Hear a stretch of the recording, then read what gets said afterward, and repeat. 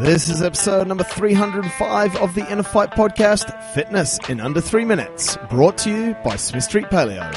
Fitness in under 3 minutes. This is all about better self-esteem. Lucky we're in a good mood. Self-esteem is the idea that you have about yourself, Andre. As we know, n- poor self-esteem, you dig yourself into this state of negativity, dig yourself into a hole.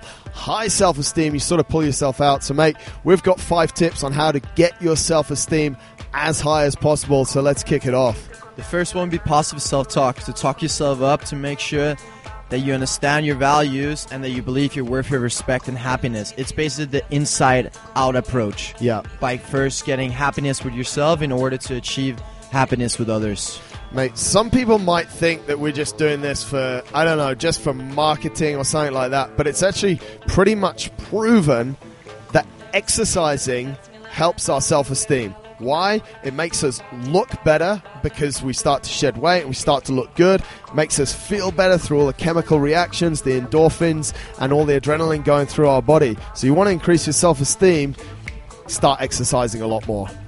The third one would be don't beat yourself up for small mistakes. I mean, we're all human. The most important is just that we learn from it and that we move on.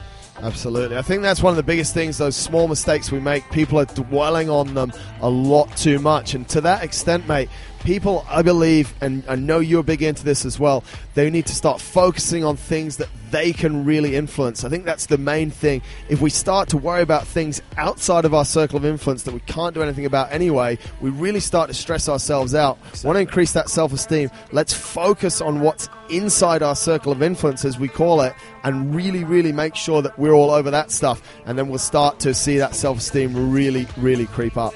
Exactly. Last one to kick it off is the understand that the inner victories will lead to the public victories. Yeah. It means that you have to focus on yourself first and make sure that you get everything right before you'll be able to achieve great success with others. It can't work the other way around. Yeah. It's impossible. Mate, as a final thought, what do you think is the difference between high self esteem or the fine line between high self esteem and what we generally know as a little bit of cockiness? Where do we sort that out and how do we play that into action? Cockiness will be loud. Yeah. High self esteem will just be silent. It's silent, isn't it? Exactly. It's just a confidence, a, sort of a silent confidence rather than. I think a lot of cockiness is, is a lot more talking and a lot yeah. less doing, exactly. isn't it? The more you need to improve to prove what you're worth. Yeah the less you're actually the worth less it. you're worth it. That's self esteem. That's five tips on how to get it better. This has been Fitness Under Three Minutes. Thanks for listening.